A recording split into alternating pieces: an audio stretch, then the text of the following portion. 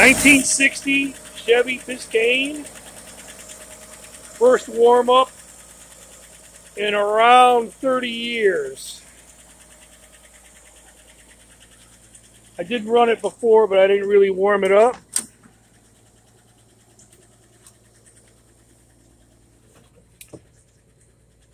Can't tell how many miles are on this car. This is kind of strange because there's no wear on the carpet and there's no wear on the dashboard. And it says 13, but I'm sure it's 113.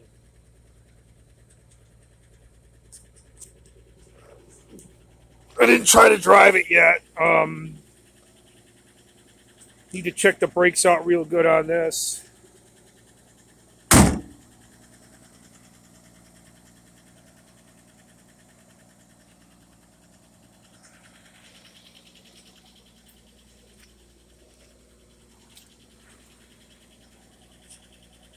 No smoke.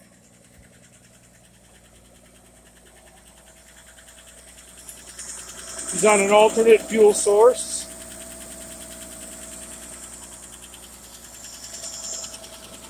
Still a little ticky.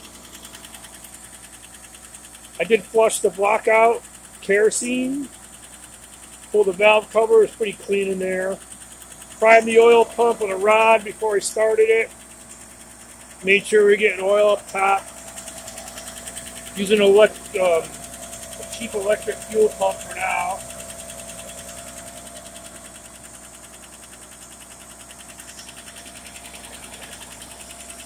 Pretty cool car. Came from California. Never seen winter. This was in Los Angeles his entire life. And it was built in Los Angeles too. That's my wife's exercise ball in the front seat.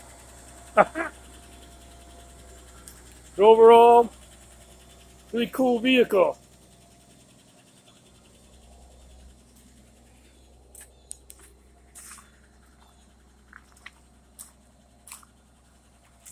Nice to see it run again.